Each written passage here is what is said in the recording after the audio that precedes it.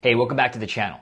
So in this video, I'm gonna share my three-part secret email framework that I use to write my daily emails. And this is the exact framework that I've used for the last two and a half years to write these short 200 to 500 word emails that bring in 1K plus in sales every day. So watch this video until the end. You're going to see exactly what that framework is. And also if you watch it to the end, I'm going to share how to get my newest ebook, the Email Rainmaker Playbook for free. Now, if you are new here, my name is Sean and on this channel, I talk about how to create internet income from writing online. So if you want more content around that, make sure you hit the like and subscribe button so you don't miss any of my future videos. And with all that said, let's hop into my computer. I'm going to share this three part framework with you right now. Okay, so I actually wrote this first as a Twitter thread and it broke down the three part framework. So, what I'm gonna do is, I know not everyone follows me on Twitter, so I'm gonna go over this thread with you and then also show you the actual email so I can show you an example of what this framework looks like. Now, if you wanna follow me on Twitter, because I write one of these threads typically every week, go to twitter.com and then follow me at Sean Anthony Says. And then you can see all these threads that I write in real time. So this framework, it's a three-part framework that I use to write my daily emails that pull in 1K plus in sales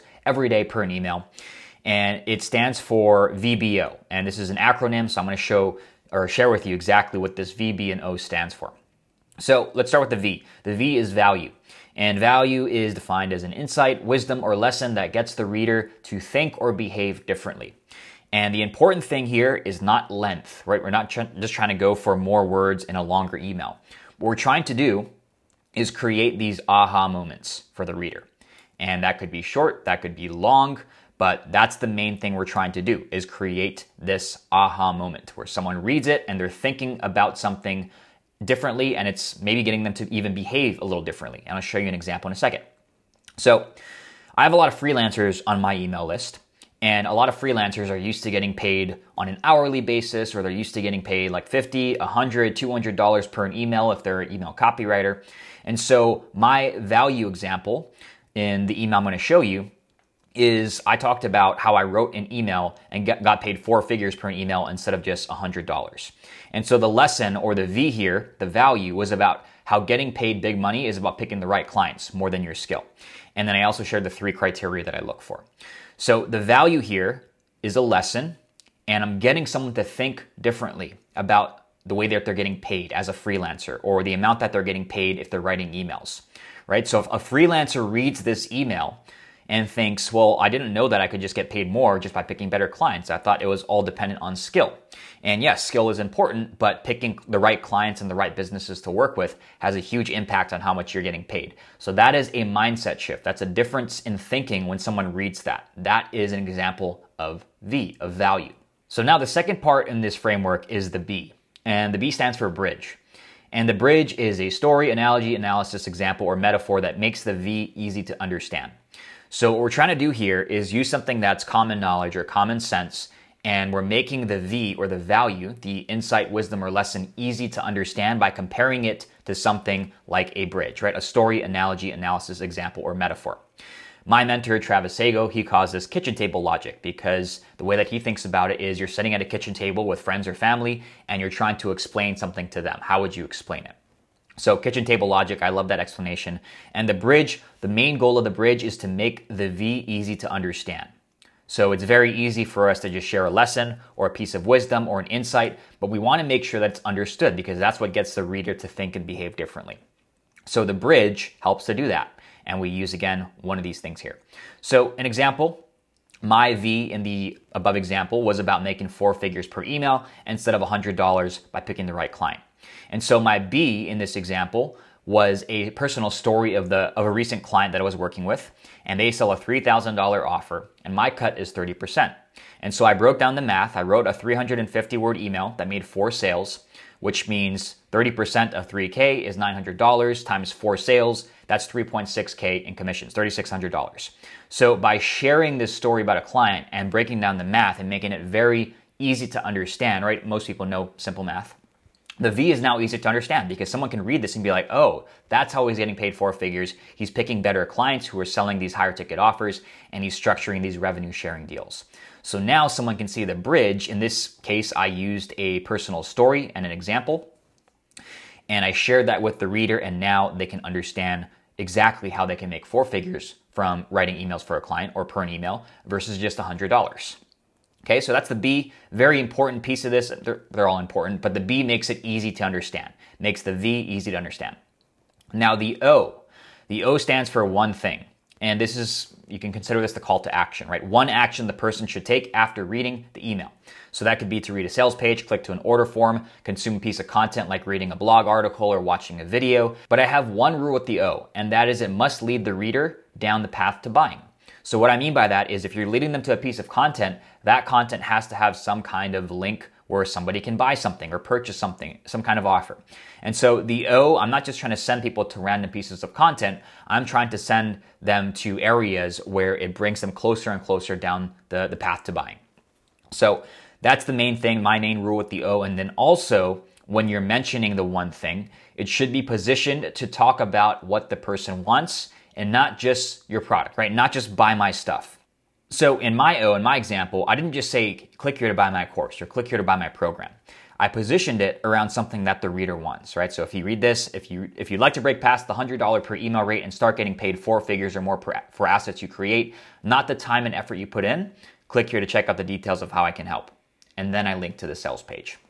But you can see here, this is not hey, click here to buy my stuff. It's if you want to start breaking past the hundred dollar per an email rate and make these four figures per uh, an email, then, then check this out. So it's positioned around something that the reader wants and not just buy my stuff. Okay, so that is the VBO framework. Very simple. I'm always thinking about this as I'm writing my email. What's the value here? What's the bridge? And what's the one thing? And if you start using this framework for your emails, and even for your just your content in general, you're going to write much better emails and much better content that actually gets people to purchase and actually become a customer with you. So now with that said, I want to jump over to my Facebook group here because I often repost my emails here. And this is the actual email that I was talking about. So this is the subject line, want to get paid more than $100 per email. And I'll just read through this with you. So it says, This will sound braggadocious, but when working with clients, even as a beginner, I've never made less than $300 per email. Not because I'm insanely talented or the best email copywriter in the world, but because I know how to pick the right clients to work with. Okay? And how to structure these deals in a way that can be paid for the assets I create, not the amount of time or effort I put in. So now we're, we're getting into the V, right? Getting paid four figures instead of just $100. These days, it's not unusual for me to make four to five figures for a single email. For example, okay, now we're getting into the B, the bridge. Last week, I made $3,600 writing one 350 word email for a client. They sell a 3K course, and I get paid 30% of the gross sales I bring in, which is $900 per sale. The email I wrote, wrote, got them four new sales, making me $3,600 in commissions. And now I have an asset I can reuse for this client or other clients and or myself. I own this asset and I can use the same email to pull out bigger paychecks whenever I see fit. Did it take me hours to write? No, it was ready to go in 30 minutes. Was there anything special about this email? No, it was a normal 350 worder that touched on a pain point of their market. Was it a one hit wonder? No, I've written quite a few of these rainmakers over the years. So then, what made this email work and how did I make four figures and counting from it on 30 minutes of work? It comes down to picking the right client to work with, right? So now we're in the bridge still and we're, we're bridging the actual story to the value. If a client has a proven offer, and these are the three criteria that I talk about, a proven offer that's already selling, consistent traffic and new leads joining their list every day, client results, testimonials, case studies, and social proof, I'm pretty confident I can do a kick ass job for them and I can write these simple 350 word emails and get paid big bucks for it. On the other hand, if I were to work with struggling Sally who can barely keep the lights on, that same exact email wouldn't make me a dime. So while your skill is important, it's not as important as picking the right partner to dance with. This might all seem like common sense, but the amount of talented freelancers and copywriters who barely scrape, scrape by tells me otherwise. And this is the one of the main things I'll be helping folks with in my email side hustle program. I'll also be sharing the exact email that got me this recent commission check.